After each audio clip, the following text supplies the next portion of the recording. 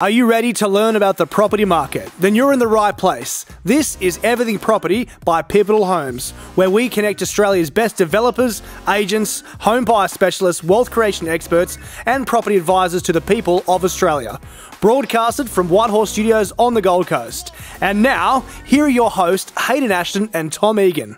G'day, listeners and viewers right across the country. Welcome to Everything Property by Pivotal Homes, where we connect Australia's best developers, agents, home buyer specialists, wealth creation experts, and property advisors to the people of Australia. Now, today's guest has worked for some of Australia's largest and most successful developers. He is going to share with us a stack of information about land subdivision and townhouse development and of, of, course share his views on the Queensland property market today. He has been involved in the sale and or development over 4,000 properties in South, Southeast Queensland, has decades of experience in construction, property and sales.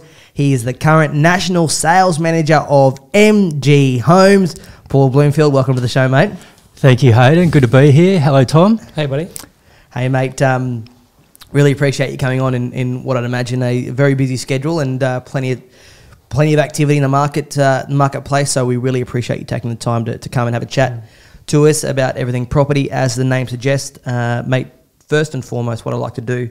Uh, we're in um, uh, probably 15 or 16 episodes, and we've sort of like to start the conversation by giving the people watching uh, and listening, of course, on Spotify and whatnot, um, some context around your journey personally into property, um, how you came to be involved uh, in in the property industry or, or in financial services, um, but also MG Homes. You're the national sales manager of um, of such a great organisation there, and, and what you guys do specifically, and how that business has evolved and transformed over its life life stage as well.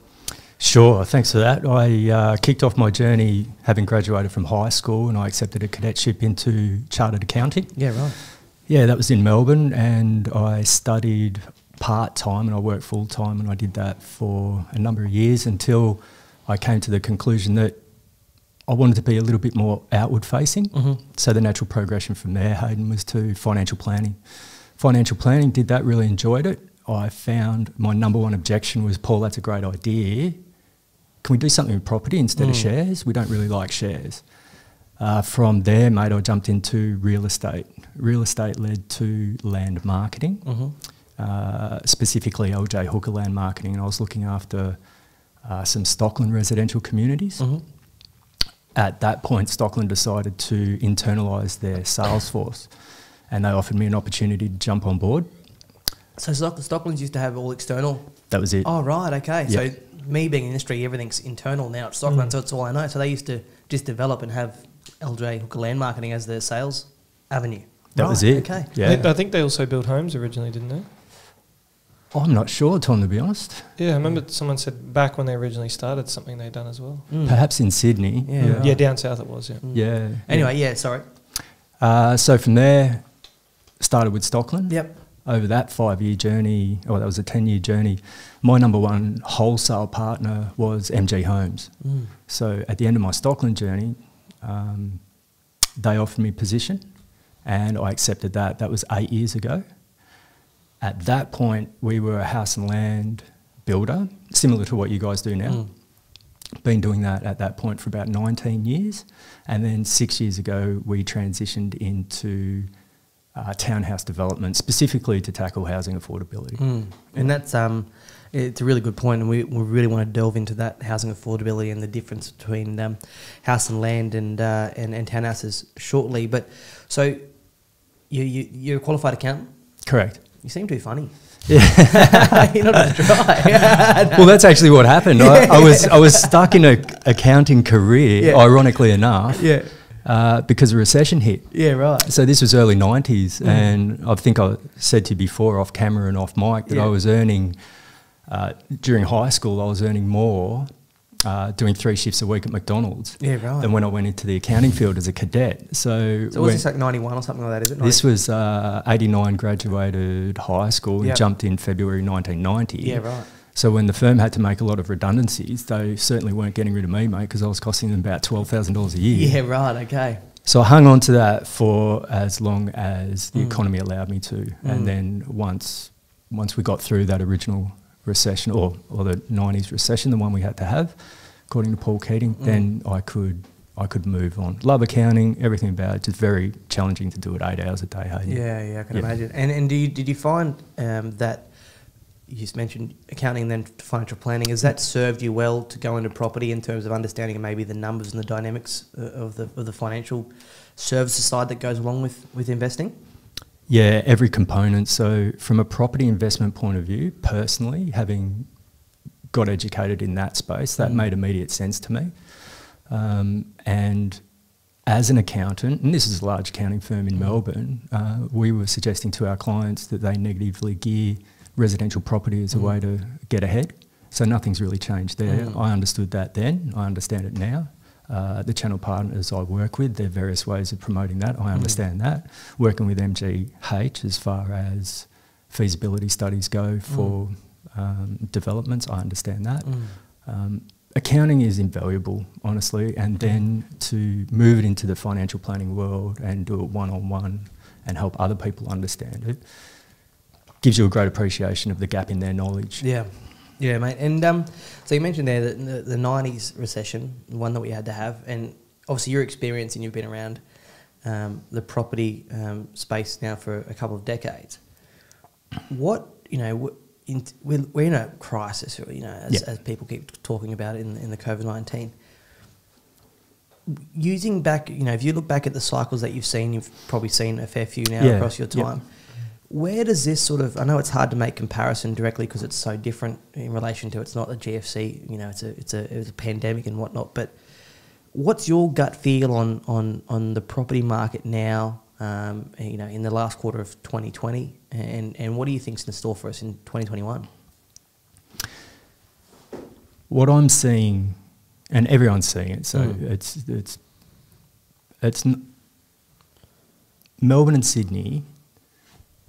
Uh, just heaps of people are moving up here. Yeah. I think once upon a time, um, it it wasn't feasible to work from home. Mm. It was a big challenge. You thought that would be nice, but then it's all been forced upon us. We had to do it. Um, people have discovered that they can do it Mm.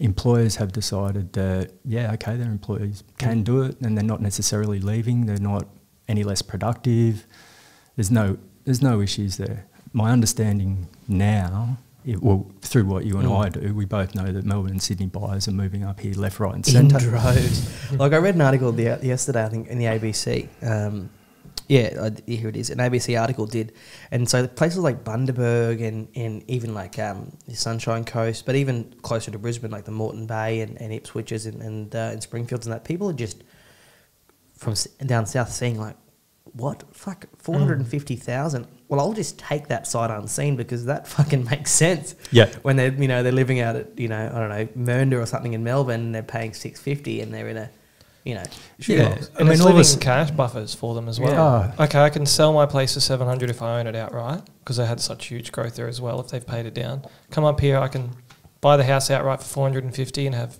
250, 300 depending on what they've got left over. Left, that's no-brainer for them. It's also a desirable place to live. Mm, so mm. we're looking at all the stimulus at the moment, particularly with buying a house or building a house. Mm. So all of a sudden in Melbourne, you've got no AFL, you've got no hospitality scene. Weather's always been poor. People are looking around and going, okay, well this place actually isn't that flash. Mm. Um, and it's not that easy. Population dynamics. There's a lot of people there now, and it's it's just hard work. I grew up there, and it was a pretty cool place. In Sydney, people are going, great, I've got all these incentives to buy my first house, but where am I going to do that? I'm going to do that in a place that I don't want to live. and Mm. trying to find somewhere sub seven fifty to get these. Well, this grants is, this is the thing. So you go out, out, Mm. out, and go, great news, I qualify to build my first home, but I don't want to live here and I don't want to raise a family here. So then you get to what you're talking about, Tom, and all of a sudden you have desirable real estate, places where you want to live, you want to raise a family, and you got an amount of money in the bank account as your cash buffer, which is making you feel pretty good about yourself right about now, because Mm. a lot of people didn't have that Have cash buffer. No, Yeah. and they've been caught out. They've been generously um, subsidised with mortgage Mm. holidays and things like that. That's going to end. Um, but yeah, this is the place to be. And I Mm. have relatives and friends in Melbourne, and and they're doing it really, really tough, especially with Mm. what's been announced recently. Over the last couple of days. They're just not coming out of this thing. Yeah, Yeah. And I, thought, I was speaking to a couple of, I've got a couple of partners down there, and they're not like, they're not having. I mean, they're still having ten to fifteen, you know, cases a day, but they're still not sort of having any um, uh, release of the of the, the the martial law almost that's that's in place down But there. they're not They're- reducing the stages. Yeah. They're keeping them high. Yeah, Daniel Andrews has basically said if you can do this, we'll do that. But the this bit Mm. Isn't happening and probably appears to be unachievable. Now, what's happening is they're all essentially trying to say, let's work towards having a normal Christmas, and that's looking increasingly unlikely. Mm. And as I said before, there was there's a movement uh, towards obviously working from home and Mm. doing it well.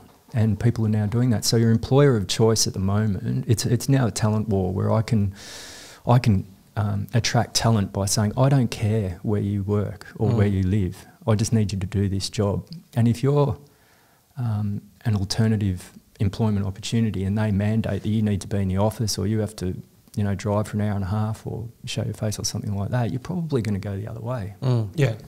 Yeah, and in southeast Queensland, what's that mean? You're going to walk out in your backyard because you have a backyard, Tom, Mm. because you Mm. can afford To have a backyard to have a backyard. Mm. and be, you know, five minutes from the beach. Five minutes from the beach, yeah. Or you're going to be Yeah. surrounded by parkland Yeah. and you're going to be able to raise kids in sunshine and Mm. all those kinds of things. So, yeah, a number of friends of mine are real estate agents within a 5K radius of the Brisbane CBD. They're doing unbelievable numbers, just, Yeah. just crazy numbers. Their marketing strategies have changed. So, instead of a few photos and, you know, 60 words of copy, it's probably 30 to 40 photos Mm. a YouTube video with the vendor explaining the features and benefits of the property, and probably closer to 400 words of text um, to allow people to buy sight unseen. Yeah. Yeah. and that's um, you know, th- these sort of events they tend to they don't that I, I I believe it hasn't changed the world. It's just sped up what was already happening. You know, like people were already wanting to work from home pre-COVID, and there was already a small trend to start that was starting to happen, but that's now sped up. You know, uh, shops and offices and, and that sort of stuff were already going, and or retail centers were already going online, and now that's sped that up. So I think we've all we've all this has done is just sped up the inevitable anyway, and probably for the better, um, because it's it ha- it's it's reduced that lag or that slow, you know, period whereby fifty percent of the population do it, fifty percent of the do- uh, don't, and we're going to see a mass a mass change. And further to your question, what does the property market look like in 2021? Mm. Obviously, I don't have a crystal ball, but like many people reading the summary of the recent budget, federal Mm. budget, with very few exceptions, I think every part of the economy has been not only stimulated but heavily stimulated. I think the path to consumer confidence, particularly in southeast Queensland, um, will be rapid. Well, they described the budget um, as the most significant since World War II. I think was the was was a lot of the media and headlines around it, and they made it. Frydenberg had a big push, and, and it was evident on, on jobs, and the the way out of this, um, you know, recession was job creation, and he certainly, you know, certainly a positive budget to, to achieve achieve some you know some important infrastructure projects, and and I think that'll you know that's not just for this budget, but we'll continue to see that because it's not as if we're going to wake up on the 1st of January 2021 and be like, well, that was done. Yeah, good. We got through that. You know, this is going to be something that takes, uh, the, you know, the, the work of, of, of, you know, several probably governments um, to, to get through, you know, what, what we've had to get through in terms of, you know, economic pressure and, and stimulus and what and pay back some of the debt. But certainly on a really, really positive note and compared to where other countries are in the world, it's, um, we've done it, you know, the, the current government, but also the Australian people have done a phenomenal job in, in navigating what is a, you know, unforeseen and, and you know, just extreme set of circumstances. Mm, absolutely. And when you compare it to the recession of the early 90s, Mm. where you didn't get that government assistance, Yeah, right. it was pretty brutal. You know, you lost your job and, you know, you struggled and maybe you recovered, maybe you didn't. Whereas, uh, yeah, certainly the government's helped everyone out. So, And yeah. I think there's been you know concern raised since the budget was released about the home builders grant being extended or not, and going okay, we're walking into the first quarter of next year being slow and quiet, but at the end of the day in southeast Queensland, there's still a lot of good reasons to buy. Still really good value. You've got the low deposit um, scheme that's just been extended with Yep. another ten thousand allocations. Yep. That's been raised in I think it's six hundred and fifty thousand Mm. that you can now purchase in. So there's still huge opportunities for buyers to go out and buy next year if the home builder's not there. I, Yeah, I, I think a lot of people are freaking out about it, but in southeast Queensland, you can still buy a really good house, five hundred thousand. The land's here, Yeah. and we're still seeing people buy. So I don't think it's it's going to drop And significantly for people to be worried. And you're spot on. Like you know, banks are doing ninety five percent LVRs. The reality is you, do, you don't need twenty five thousand. You need you know anyway. You get still getting the fifteen fed uh, state state grant, um, and plus you you know I don't want to touch on it too quickly yet, but the responsible lending laws in, in March that's a you know that's a game changer for for, for, for the for the industry. And so Yeah. you know I think and we touched you touched on it quickly, but you know we, if we if we rewind where you know six months ago every paper you'd pick up, the property market's going to crash by 30% and the world was going to end and anyone who invested in property was a mug because you've just lost, you know, lost everything.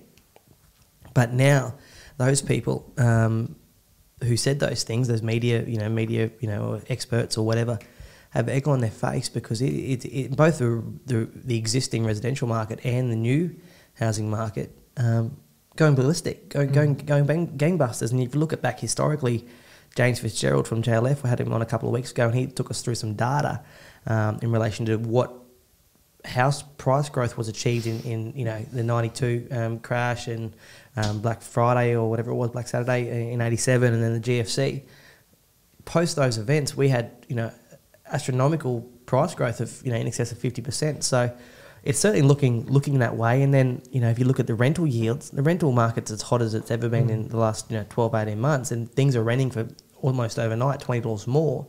Yields are going up. Yes, investors have been a little bit shy in terms of entering the market over the last six months, but now on the back of the owner occupiers just pushing and pushing and pushing, demand or supply is not there. Demand is incre- incredibly high. Yields are incredibly high. So from an investor standpoint, I'm seeing them start to enter the market because hey, it just makes sense.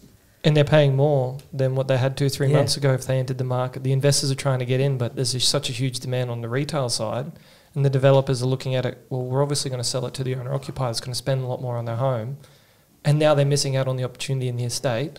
New stage releases come out, like an area that Hayden sold in the Sunny Coast, they released the next stage price list that's just come available. And I think it was like 35,000 Yeah, extra for the same block size. Like, two seventy five to three eleven. Yeah. like we're not not five thousand dollars, like a massive No. jump. And now the investors are like, can we? Ch-? They're still willing to pay, but the owner occupiers are still buying it up. So Mm. now they're finding it hard to even try and get in there. Plus, it's driving the rents up. So it just goes to show if they were waiting, now they come when it's time to, you know, when it's looking like a better time to buy. They've now paid thirty Mm. plus thousand more if they can get that opportunity as well. which is pretty hard. Yeah, Which that's is really hard. Yeah, exactly. Now, mate, um, we touched on it briefly, as did Tom, but the home builder grant, obviously, we've seen that pretty much transform what we do overnight. I think June 8th was when it was released. You know, pr- pre that week, um, there was a lot of, you know, I suppose fear and, and whatnot in the marketplace, and not a lot of activity um, from our end anyway. But almost overnight, that transformed on the back of the, the, the home builder grant. Do you think, um, you know, what's your take on it? It's obviously been, for us, it's been a very, very positive, you know, thing. But from a townhouse developer, how have you seen that affect? Has it affected, you know, your business too much? Um, and uh, and uh, and do you see, um, you know, obviously it's been beneficial to the to the economy. But what's your overall take on the on the home builder? It's been fantastic. Yeah, Um, I agree. Was it June eighth you Mm, mentioned? I think yeah. early early June. I was speaking to my good friends in publicly listed property development companies with residual inventory, and they're just sitting there going, "Mate, we don't have a hope in hell of selling any of this land." yeah, that's right. What was it? Fourteen days later, they go, "I've been in the industry for twenty years. I've never made so many sales in my Yeah, life. yeah, yeah. I haven't I- slept. I haven't slept, and I don't know how to get through all these transactions." Yeah, yeah, Yeah. Uh, so that happened. So that's good because obviously every block of land sold Mm. needs a house to be built upon it, Mm. and there's X amount of jobs attached to that. So that's Yeah. fantastic. I know industry groups at the moment are lobbying for an extension of Yeah. that. Uh, I think we spoke previously, going back a month, how the banks were the ones caught short because Yeah. they weren't using the incentive as funds to complete. And as you know, uh, that's now changed Yeah. with, at the very least, Westpac and, and St George. Mm.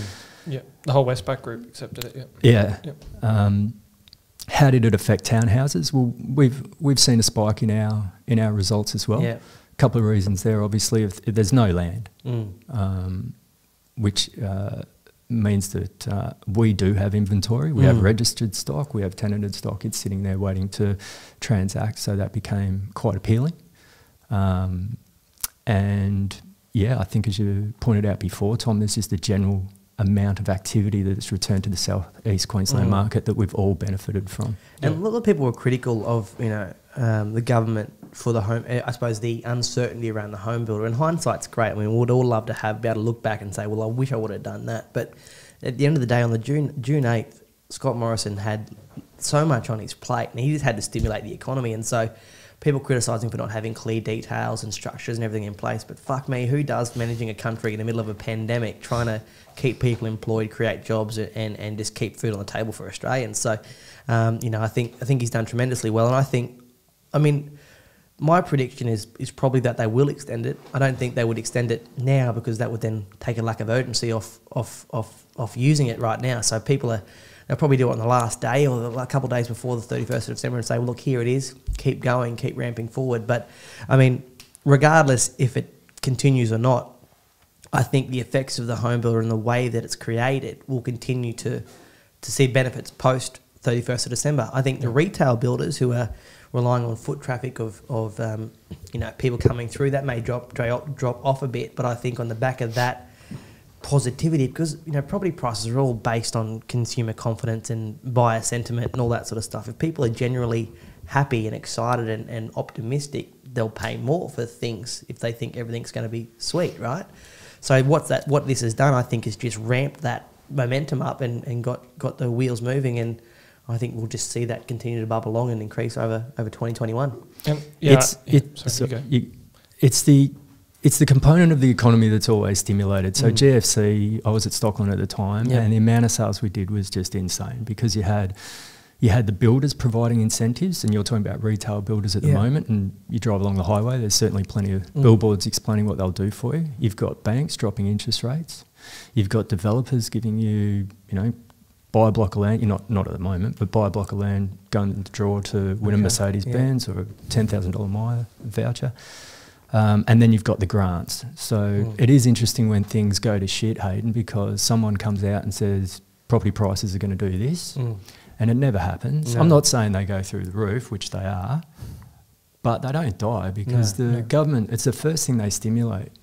Um, a because we all own majority of us own property, and we Yeah. want to know that the thing that we paid four hundred grand for whenever is worth six hundred and fifty. Yeah. because it just makes us feel confident Yeah. feel okay. We don't want 400,000 thing we bought six years ago that's Mm. now worth 280. Yeah. So that gets stimulated, that section, and that gives us employment, it gives us wealth, it gives us Just morale. just morale. Yeah, Yeah, yeah. yeah. And at the moment, I know we've, we've touched on it in, in detail, but yeah, add to the fact that it's southeast Queensland, it's warm, and you're walking around in a pair of shorts, and it's, mate, it's a pretty good uh, time for the industry, I think. And, and look, make, uh, make no bones about it. Southeast or Queensland is the real winner in all of this. I mean, anyone who's, you know, this home builder thing has just been like a gift from the gods for, for, for Queensland, not just people in the industry, but homeowners and that, because it, coupled with affordability, there's just literally not a better time that to get into the market as a first home buyer or owner occupier because you are just getting gifted somewhere between fifty to sixty thousand dollars and and fuck who wouldn't take advantage of that we don't have enough land to keep up. Yeah. that's our problem. We've got buyers ready to go. We just can't fill them. That's yeah. that's the, the frustration that, that we've got. But I, we've I've definitely seen a change in the last couple of months with because we have a quite a strong you know first home buyer presence as well with buyers. And the big change that I've noticed is a lot of them are buying the home as an investor, but going to live in it for the 12 months or 18 months or Mm. 24 months, where they've actually really taken that shift to go. No, we're not going to customize. We're not going to really push. You know, at the start when the home builders came out, everyone was just spending the 25 grand on extras every you know we were just seeing the contract and variations come through now in the last probably like six weeks i've really seen the shift where they're just we're buying this as a home to live in to claim all the grants but this is really an investment We're getting we're in. really se- getting We're it step- getting in. we're Yeah. getting in we're, ge- we're doing it This is a window, yep and it's really cha- and I think you know, and we've brought it up a couple of times before on the podcast, but it's like I think there was a lot of people wait, you know, woken up when COVID did hit. What money do we actually have? mm, We've got nothing, and if it what the only thing, the only um, savings we have is in our super. that that gets put away automatically, or else we spend everything. What do I actually Which have? which they've just given Which me take out access to. Yeah, yeah, yeah, I've just taken right. out ten grand and bought a boat. Yeah, Yeah, good. that's right. Jet ski. And, the, and, and the ones that haven't have pulled that money out, put it aside, use it as a deposit for a house after a couple of months, made a gen saving. So I think there's that. There has been that huge shift in the mindset of first home buyers as well. Going now that there's a lot more information on how to do it and the structures and what you can do. That's also been very positive. And what the home builder's done, you mentioned it, the land is not there. For us, Yeah. like if I want to build in Springfield right now, I just cannot do it. Mm. But with the smart acquisition that you guys have done, obviously years and years and years ago when you acquire your, your townhouse developments, you're sitting in position. Um, are we allowed to talk about that project? Is it released yet or, or not? Oh, I've been speaking about Okay. it publicly. Yeah. uh, yeah, cool. Yeah. So, I mean, when you. news release, no. Yeah, we'll um, pull up the master plan in a second. yeah, no, but uh, when you acquire these sites, you're, you're going to be in a really position of power with uh, what Lakeview's Vista is. It Mm. Lake Lakeside Vista, Lakeside yep. Vista, whereby there's no registered land in there, and you're being able to get a piece of not only you know Australia, but a piece of history in such an amazing area for what mid four mid four hundreds. Um, To be determined, but yeah, think that. around read about that. Yeah. So I mean, um, in, in somewhere like Springfield, so I think the townhouse side of things will become more and more popular because again, it's a window to get into the market. Regardless of whether you're an owner, occupier, or investor, the window is still there because in 12 months' time, prices are going to be significantly different to what they are today. So, if Springfield, if we identi- identified the magnitude of infrastructure and the amazing and the incredible story that is Springfield and that whole western corridor of of, uh, of Brisbane, and I'm looking at like, well, look, the house and land's at like six, you know, six hundred Mm. now. It's getting up there now. Yeah. Fuck, honey, I can 450, 460 for a, this, you know, beautiful townhouse right opposite a lake, right near Bunnings and Masters and GE and, you know, all this other stuff yeah. Makes sense, and, and it's going to rent for four twenty. So five, oh fuck, how good's this? You know, Yeah, that's what yeah. I, I'm seeing that as not only Springfield, but your Northern Corridor projects and and uh, and whatnot as well. Like it's just going to make so much sense to get on the ladder at a more affordable price because at the end of the day, people can't afford six hundred. Can't afford six hundred. That's uh, yeah, that's the plan. That's what we do, and that's what's been working so Mm. well lately. And I think you mentioned some things before about uh, tenancies and renting and that kind of thing. And when you're doing that in southeast Queensland, you can live where you want. Mm. You were talking about rental yields, Yeah. um, so you still can rent a fantastic place like what you're talking Mm. about.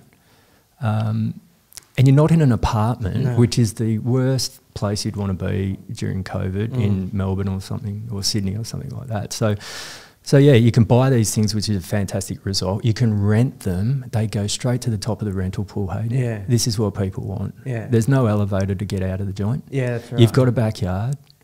Backyard, you can't kick a footy in, but there's hectares and hectares and hectares of the best Yeah. open water public parks, space Yeah. Yep. all the infrastructure, and I'm not just talking about Lakeside Vistas. Yeah. This goes into our residential communities on the northern Gold Coast, um, and more affordable options in the Western Corridor.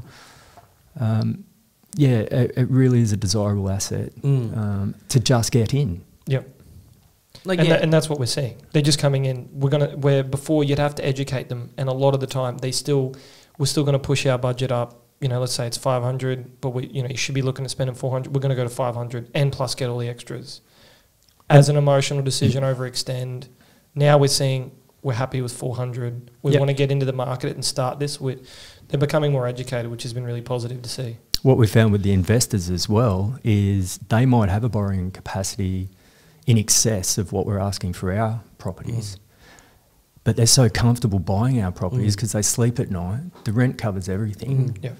Yeah, so it's really filling up a nice part of the market there. Yeah, and it's, it's, it's the old, um, uh, a mentor of mine earlier used to talk about the barrel band uh, in terms of affordability and, and particularly, you know, townhouse stuff. It's like no different. Like I, I want to I want to buy a house and live in New Farm, but is that realistic for where I am right now? Probably not, you know, so I'm going to look at other options. It's no different to, you know, um, you're comparing a, a house and land package through us in Springfield or a, beautiful, you know, townhome in Springfield. It, it comes back to affordability and what you're comfortable with, and the majority of people are going to sit between that 450 to 550k in southeast Queensland as to where they can put their head on the pillow and sleep at night, knowing, well, that's reasonable, and that's I'm comfortable with that.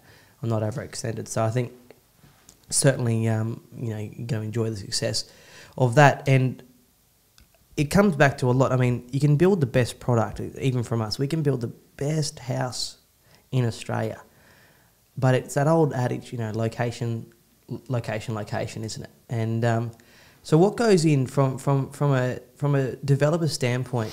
You're obviously looking at there's there's two parts of it. There's the development and, and the and the sale uh, or the marketing aspect of, of it's all well and good building and constructing and developing this product, but if it doesn't sell, it's no good, right? So you're obviously looking at um, you know demographics, infrastructure, all that sort of stuff to ensure that it's something that's going to be sellable at the end of the day. Tell us about that sort of process. That's actually a really easy process. Yeah. Um, the growth corridors of southeast Queensland have long been established, and we have fantastic relationships with the publicly listed property developers. Mm. So they have massive research departments.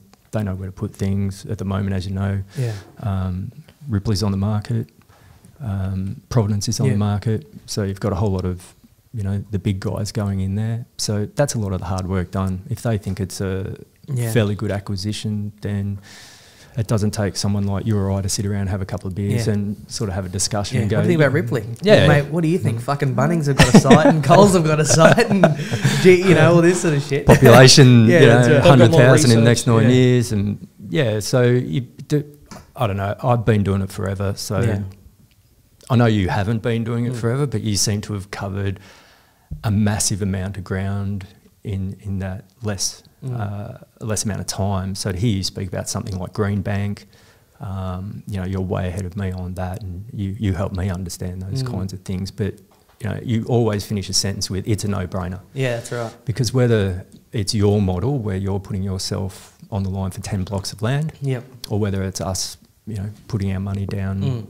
to acquire, we're just, I think we've all been doing it long enough to go, Mm. yeah, yeah, people will buy this, it's Yeah. good. Yeah. And, and it's the gut feel test, mate. When someone It is. says, and I won't name suburbs because other people do stuff there, but for me, it's like, no, I won't do stuff Yeah. there because my my curated sales force, um, they won't they won't go there. Yeah. And so if they're not going to go there, as you said, if I can't sell it, we're not going to stick it on a stock list. Yeah, that's Yeah. right. You know it works. And the Yeah. gut feel thing, like it's funny, you know, like you can look at demographic data and all that sort of stuff, and a lot of the time it just matches or aligns with your gut feel anyway. And that's not to downplay the importance of that demographic, or, you know, demographic data. But I could sit here with spreadsheets, and you know, all the best researchers in the, in, in, in, in, in, Queensland or Brisbane. But the moment I see Bunnings, or the moment I see Coles, or the moment I see any of those sort of companies, I'm like, well, they've already uh, out, out researched me. Yeah. Bunnings don't make money, for example, on you know builders like us. They make money on the weekend warriors, the people who decide that they want to build a deck or they want to you know redo their garden landscaping. So, what comes with that? They need to have population. They need to have people to support that. You look at Springfield. I think it's a nineteen thousand square meter. What is it, Tommy? 17. Seventeen thousand square meter. You know, superstore in Springfield. Mind you, that was there eight years ago when there was a population of 20,000 people, and yet they've mm. got one of the biggest stores in southeast Queensland. So it doesn't take a rocket scientist or a research demographic demographer to, to understand that there's obviously their research indicates massive population growth to sustain an operation of that size and scale. So, um, you know, from an investor standpoint, you just look at those companies, what they're doing, and follow follow them. Really, Yeah, throw in a train station Yeah. and a couple of schools. yeah, that's right. Yeah, Yeah, exactly. dou- double the size of the shopping centre there. Pretty sure you're, You're, you're onto onto something good. Yeah. Largest shopping centre in uh, southern hemisphere. So Yeah, right. Yeah. It is Yeah. actually, isn't it? Mm. Yeah. Yeah. It'd be interesting when I wonder when stage three starts. Obviously, they're waiting to hit a certain threshold. But I was only speaking to Lendlease the other day at Spring Mountain. That's had a twenty year, twenty five year project that comes to, to an end in four years. yeah, and they've tried everything to kill it. They've tried everything. Yeah, like as far as price goes, you'll go okay. We'll, we'll increase the prices to dampen demand, Yep. um, but it can't. And it's still a year want it. away. It's still a year. Isn't and that funny? And I, and I always have egg on. Like, it's not that I don't believe in it, but it's that the whole mental side of things where you're like, oh, fuck, 450 in Springfield. Mm. And then you're like, oh, fuck, 500 in Springfield. Six fifty. And now we're like, fucking 650 in Springfield. It's like, when does it stop? But it a million doesn't. bucks in Augustine Heights, Yeah, one point four at Brookwater. Um, You know. And then, and then, as you know, I released and sold out of Eden Edenbrook Villas, two kilometres from um, Brookwater. Yeah. like there's a Mount Juliet Road. Yeah, or yeah. continue through there. You, you could walk your dog from Edenbrook Villas to Brookwater. Yeah. Three hundred and thirty-seven thousand dollar townhouses. Crazy. mate. There is Crazy. a train station because it'll go Kessels, uh, Keidges Keidges, Road. yeah. And then into Edenbrook Villas, and then as you said, they're about to build a, a Woolworths. So someone's just paid three hundred thirty-seven thousand to get three hundred and forty dollars a week rent, and uh, the capital growth growth drivers aren't even there yet. Yeah, that's Yeah. right. It's already hot paying for what it's like what it costs you. And you're Yes. buying like you're buying there, and you've, as you said, you've got a train line, so much infrastructure to support again population growth that's forecasted in that that whole that whole area. And you look at the established capital benchmark, which is what I look at a lot when I when I purchase mine. I'm Mm. like, okay, well, I want to be buying nearby to expensive places. So if I look at Mm. you know, um, you know that, that Western corridor, and I look, okay, Brookwater's a million bucks, Augustine Heights eight hundred, Springfield six fifty, and I'm and I'm two minutes down the road for three thirty. It's sort of it almost buys itself. Ultimately, why you probably had no struggle there in, in, in moving them because it just, again, from a from someone interstate, they're looking at that. You're telling me that I'm near the largest shopping centre in the southern hemisphere, a 1.7 billion dollar train line development all this other stuff, seventh largest company in the world, etc., etc., etc. And I'm paying three hundred and thirty thousand. Like, you know, is that the deposit? Like, that's Yeah. the sort of thing you'd expect in Sydney, right? So with the grants and everything available, your own cash you don't really need with the grants that are available. Yeah. Funds Well- to complete, you can just buy it as a first home buyer with no money down. Well, and a lot of the superannuation funds. Mm. yeah. Oh, you pull out twenty, you've actually got extra money left. You'll have money left over from that purchase. I'll tell you one thing: when the share market dropped thirty percent overnight, those townhouses were still worth three, you know, three That's forty. That's it, and uh, yeah, fortunately, our pipeline will be replacing that inventory not Mm. too far from that location with another 180 of those, Yeah, nice. uh, which is coming after that lakeside vista. Yeah, great. Yep. And so, mate, with townhouses, um, obviously, you know, with with house and land, uh, it's freehold. Um, Yep. Whereby you know you take control of, of your land, you own the land, and uh, and you, you do your rates and all that sort of stuff. It's a new um, it's a new topic that we're introducing today. So it'd be good to get sort of a background as as to a townhouse, the actual construction, you know, of them, uh, in relation to. W- you know what's their makeup, you know, uh, adjoining walls, all that sort of stuff. Mm. But also explain the term or, or, or introduce body corporate systems and, Yep. and what that is. So we buy a site and then we have a look at the highest and best use for that site. So Mm. we put our dwellings together in either duplexes, triplexes, or fours, just Mm. depending, and then we put them on um, as best they fit. We don't go overboard with the sites. We make sure that they're livable sites Mm. with um, wide verges. We take the um, traffic off the street. We provide parking for that. Once we've done that, basically our, our better designs that we that we're really proud of have a single lock-up garage, but a secondary uh, living area upstairs, Right. which has been really popular. That's the dwelling. Um, that's great. The body corporate side of things, when I first, all through my real estate career, I hated selling anything with a body Mm. corporate. Um, so then when we started getting involved with the body corporate, my my immediate desire was to have like something like a twelve dollar body corporate. Mm. As we worked through the process, um, I was educated to what we now do, which is a building format plan. It's a fifty dollar body corporate, and without going into too much detail, it just makes it a set and forget investment. There's Right. no arguments between the body corporate and other tenants, or sorry, other Mm. owners, anything like that. And the reality is the presentation of the residential community over time actually increases. Mm. So when you buy it at the start, you go, wow, that looks beautiful. But you go back four years later, which is something I really like doing in my property Mm. development career. I like having a look at things that I remember walking through a paddock and then later on. Dodging brown snakes. Yeah, Yeah. yeah. Do plenty of that. Um, so that's how the body corp works. So from an investor's point of view, it is set and forget, Hayden. Mm. You walk in, you get a good property, it ticks all the boxes. You've got on-site management. Mm. So with on-site management, uh, that's a massive benefit that is, to be honest, poorly understood in Sydney and Melbourne Mm. because it's not it's not common. But essentially, we sell the management rights to typically a couple, husband and wife. They pay for a dwelling and they pay for the business. And then what they want to do is they want to add value to that business and sell it at some stage down down the track. How they do that is they incrementally and responsibly increase rents, they minimise vacancy, and they make sure you have fantastic tenants. They Mm. want fantastic tenants because they're living in the same complex. Mm. So they'll live in a. So they'll you know say you've got eighty units. They'll buy unit one, live and work and manage the whole complex. Yeah, we'll actually build a standalone, purpose built house for them. Right.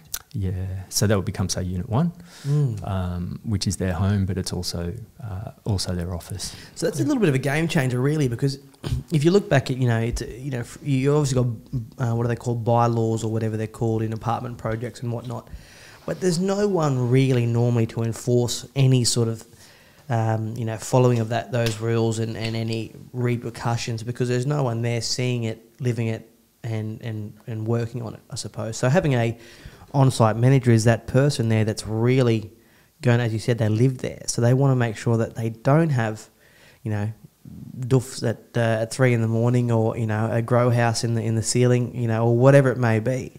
Um, and of course, from an investor standpoint, you, you must be thinking again if you're buying a three hundred and thirty thousand dollar townhouse, and you say, "Well, my, my property manager's going to live next door." Mm. Well, how good's this? Well, let's talk about property managers. Mm. So, our on site managers are probably around about a million dollars in. Yep. Because they bought a dwelling for about half a million and business for about the same. Yep. Um, my property managers are typically 17 to 18 years old Mm. that have never, my personal property managers, Mm. um, that have never bought a property and they can't really add value to what I'm doing. They can collect rent and that's pretty much what they do. Mm. So, yeah, you're right with what you said. Going back only, I think it was a couple of weekends ago, one of the tenants thought it might be good to have a bit of a party and disrupt the whole residential community and they get noticed, they get issued with a notice to um, leave. One, Mm. one strike, that's it, you're gone.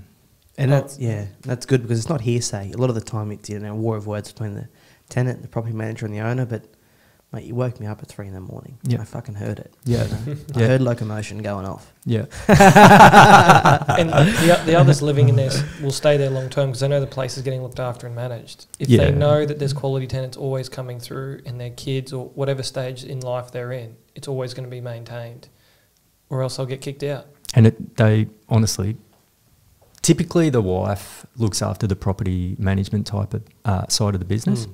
and the husband looks after the maintenance, and they are extremely proud of the presentation Mm, of the yeah. residential community and the tenant pool. When we release these things to the market for rent, because we do it stage by stage as Yeah. they settle, um, as I said before, they go straight to the top of the wish list.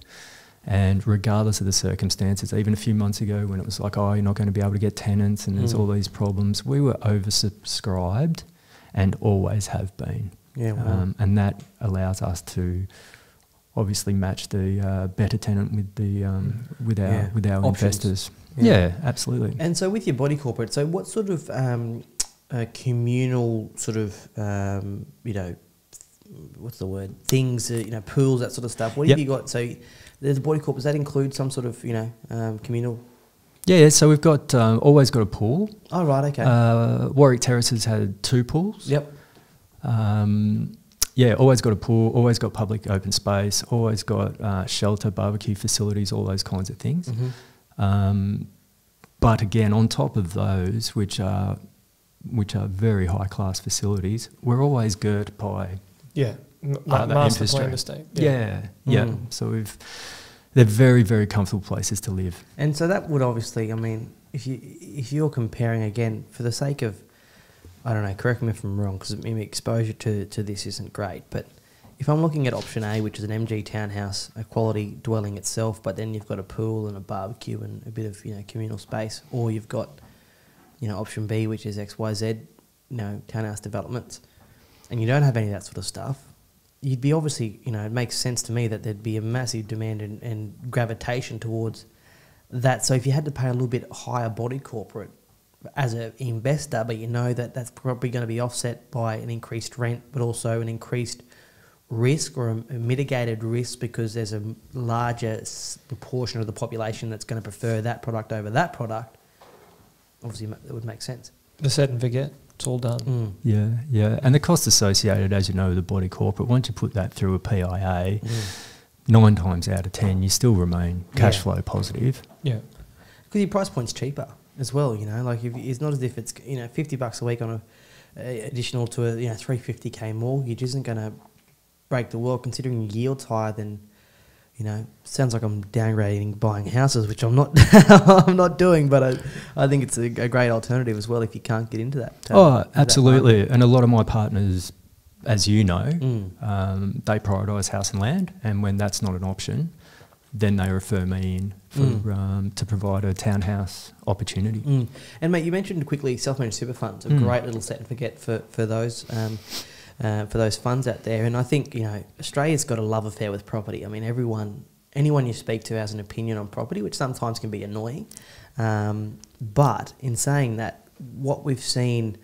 Uh, what I've certainly seen, whilst we don't do any of the one part or self managed super fund stock, it's certainly requested a lot, which would I would I would assume, and you'll probably be able to have some more uh, real data or, or, or, or um, real life um, sort of feel on it. But I get the sense that Australians are looking at self-managed super funds closer than ever to negate the risk or the uncertainty in the share and stock market or the volatility, I suppose, that, that they've experienced over COVID nineteen with the the ebbs and flows and the and the peaks and troughs, and, and they're just sort of wanting that set and forget. Have you seen a, a real shift in the SMSF space to your product?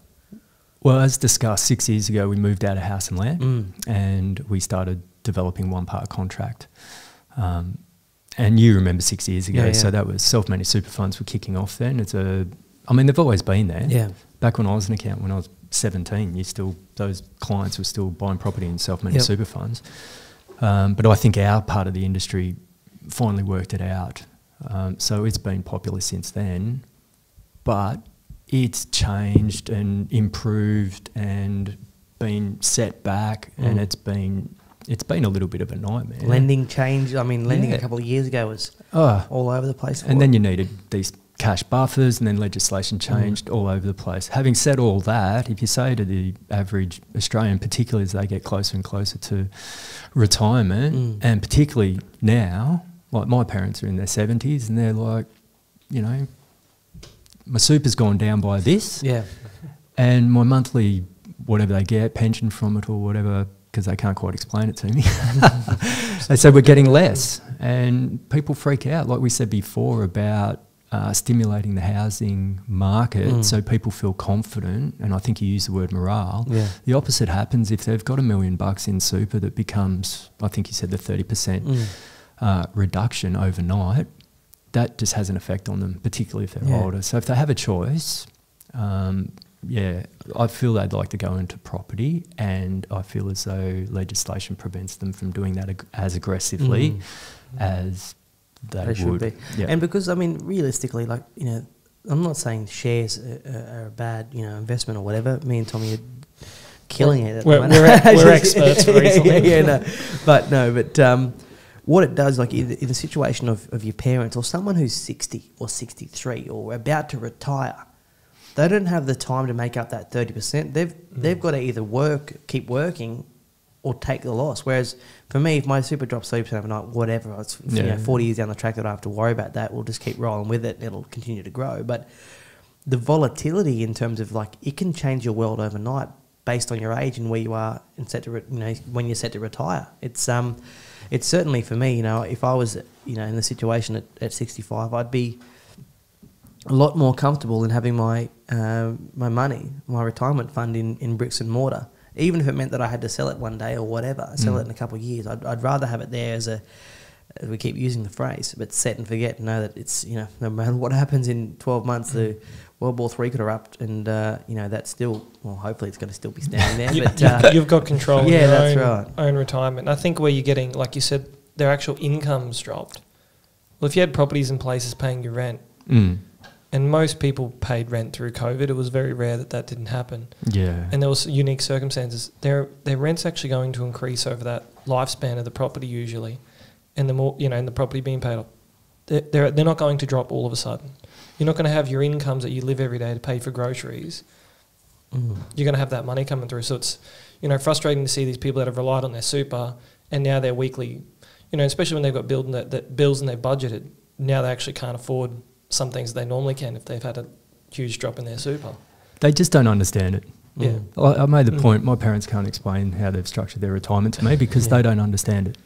Mm. Whereas if you talk to somebody, as you said, and you said it's frustrating, Hayden, but that's the reality. You can go anywhere, anytime in Australia, and have a conversation with someone about property, and they're an expert Mm. before you even tell them what you do for Yeah, a living, because right, you just yeah. you, you just end up going, yeah. Oh, sometimes you like don't even bother. Like, oh, mate, oh, I'm just a tradie or whatever. Yeah, You yeah, know, yeah. You don't even want to get involved in the conversation. mate, I'm a poet. Yeah, Like, that's okay. right. I'm a bush post. But they know. yeah, yeah, Yeah. Whether they're right or wrong, mate, they understand property. yeah, You talk to them about the share market, and they just, yeah. I don't get it. I'm like that, mate. You know, like I, I chat to Tom, like, fuck, I have no idea. You know, no idea what's going on in the share market. Mm. But ask me about property, I have probably have no idea. But but I'll tell you, you know. So Yeah. uh, so certainly um, certainly something to, to consider there for, for people watching anyway to, to to to maybe get an understanding, I would say, of, of where you're actually at financially. And before you know it, you know, I look at my mum as a prime example. She was just meandering through life. Hadn't I mean, with no disrespect, she was doing well and you know living her life yeah. and whatever. But in terms of investing in property, she gets to you know a certain age, you know, forty or whatever, and she's got nothing to show for it. You know, she's got. And I'm looking, you know, I'm just entering the property market. This is, you know, ten years ago, or property industry. And I'm like, I'm, I'm, I'm looking at, you know, I'm uh, circulating with people who are, you know, talking about PIAs and retirement plans and that sort of stuff. I'm like, Mum, you, how are you gonna? You've got hundred grand in your super. What you're gonna work till the day you die? You're fucked essentially. Yep. Like you're in some serious trouble. Being a single woman uh, at the time, you know, with with no nest egg, no property, etc., etc. So anyway, fast forward, 2011, she buys a house for three hundred eleven thousand five hundred dollars.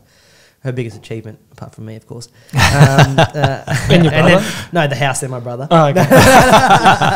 no, but that property now values at like five hundred grand. So Yep. she's looking at it, looking at it now, like okay, she's just about to turn fifty, but she's now got you know she, her mortgage is only two hundred, but all of a sudden she's got you know equity of you know three four hundred grand sitting there. Like, fuck, how did that come to be? Mm. when she's And- still got what 120 in super. Yeah, and she's still got 120 in super, you know. And so, chatting to someone, I mean, she was lucky because we she did it, you know, uh, off the bat and just bought an owner occupied house that luckily was in a good area and without any sort of idea. And I just planted the seed with her. But um, if you're in that same situation, I would certainly recommend getting the advice of of the people that me and you deal with and Tommy to Absolutely, introduce us and, and sort of get an understanding. It doesn't mean you have to buy a property, but get an understanding of what when you get to age 65 what is it going to be look, look like because i tell you living on the pension pr- providing it's even available is not glamorous it's not something to be proud of it's a hard life I, I think you qualify at 70 as well. yeah there you go you know like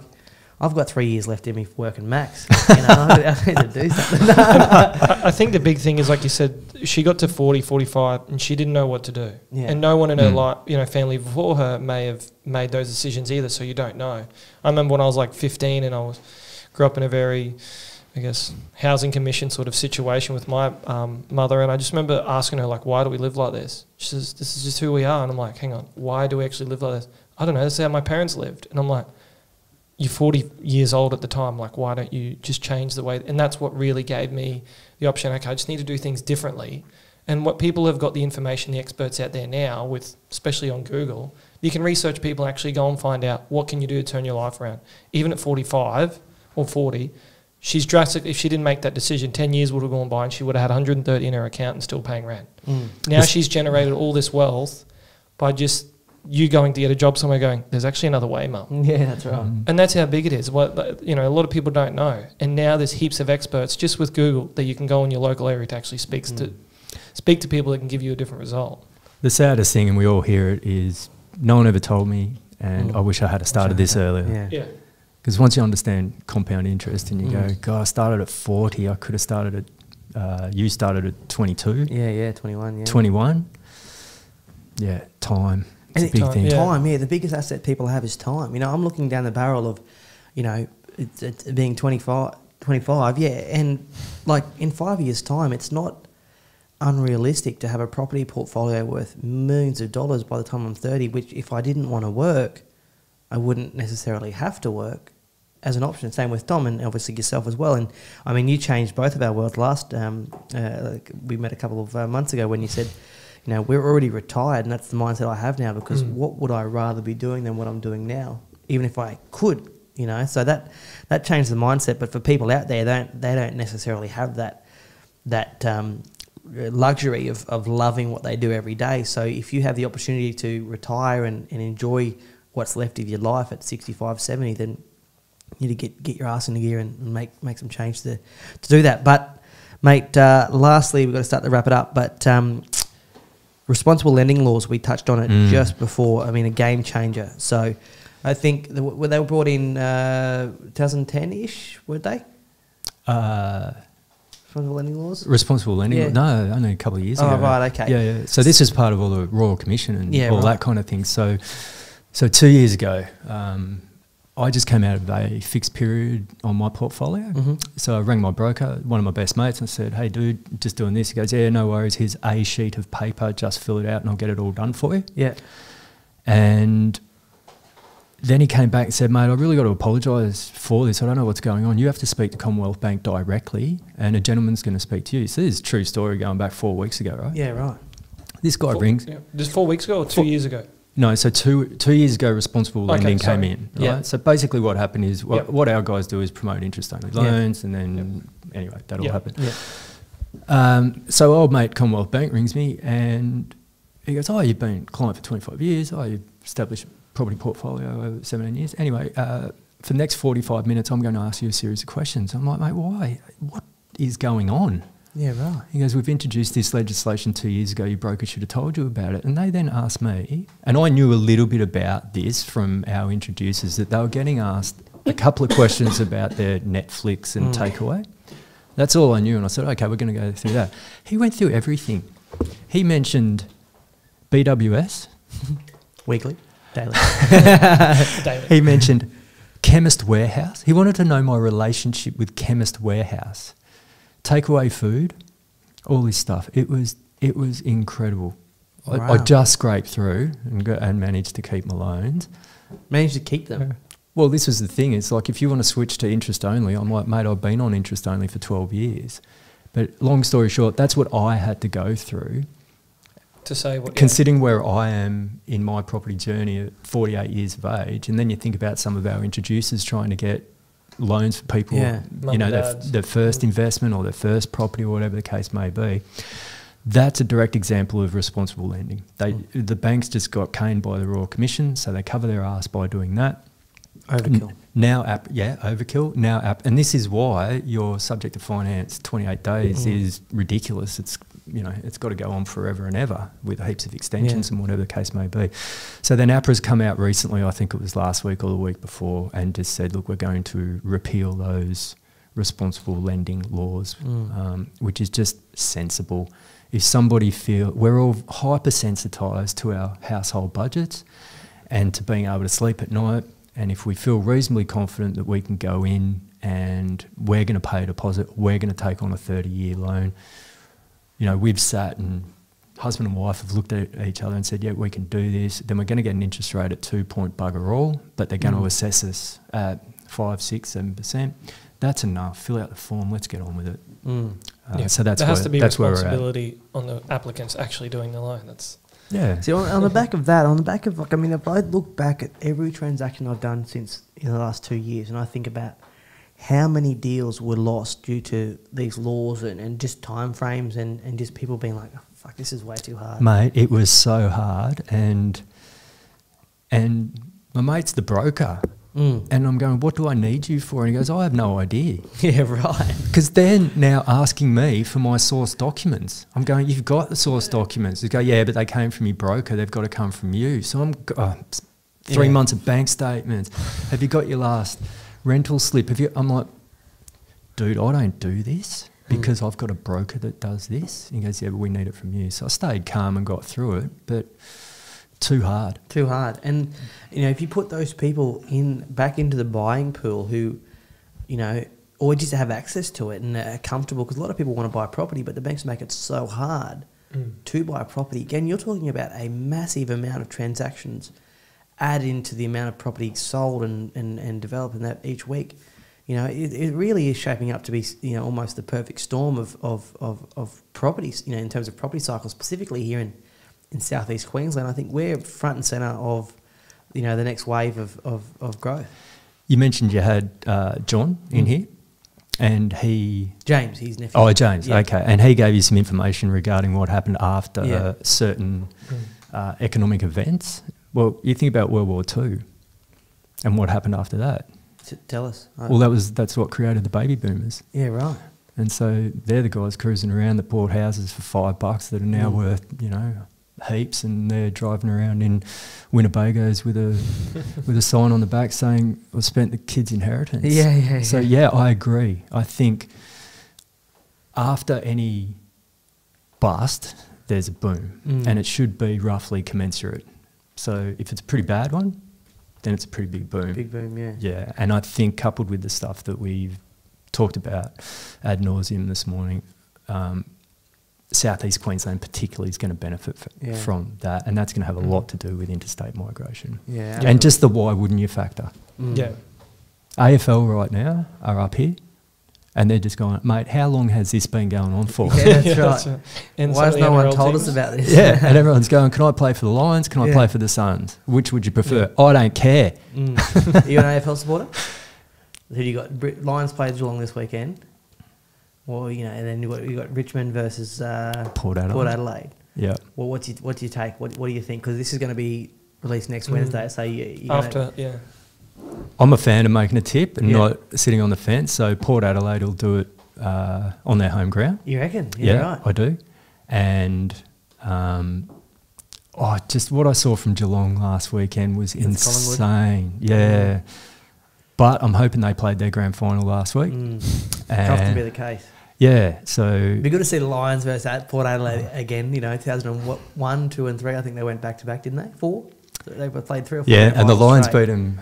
Yeah, yeah, and I think those four years, Port Adelaide finished top of the ladder Mm. and only got one premiership out of it. But uh, but yeah, anyway, it's going to be it's going to be a fantastic weekend, mate. And Yeah. um, it's certainly, I mean, you know, highlighted, uh, you know, how good Queensland is uh, and and and safe, I suppose we are. And I mean, this whole COVID thing's been the best tourism ad for Queensland. You Mm. know, possibly even Queenslanders are realizing how good Queensland is. Well, they're all going on holidays. Yeah, that's all the guys, look, everyone in Brisbane. You know, a lot of people on the Brisbane Mm. Gold Coast. I see they're all up in Cairns and Mm. Whitsundays and doing all these holidays. Going, how great's this? And everyone's like, where are you? It's like Mm. these places have always existed. Yeah, absolutely. All right, Paul, mate. Um, got to wrap it up, but really appreciate you coming on. Paul Thanks Bloomfield, sales manager of MG Homes. Thank you very much for watching. Anyone who wants to get in contact with you, Paul, what's the best way? Uh, yeah, you can get me on 0439486242 or uh, check me out on LinkedIn. Yeah, perfect. Uh, and um, of course, you've got a website, mghomes.com.au, something like that as well. Yep. Yeah, perfect. All right, so uh, Paul, thank you very much for coming in. If you are after um, some affordable price point townhouse stock in, in some really solid locations, I couldn't recommend Paul and his team at MG Homes enough. Um, terrific developers, uh, built, uh, you know, uh, sold and built a lot of them myself and uh, and and Tom has as well. So can't recommend him enough. Uh, thank you so much for watching Everything Property by Pivotal Homes. Please remember to click the like button, share, subscribe, all that sort of stuff. But until next time, we will see you later. Thank you very much. Thanks, guys.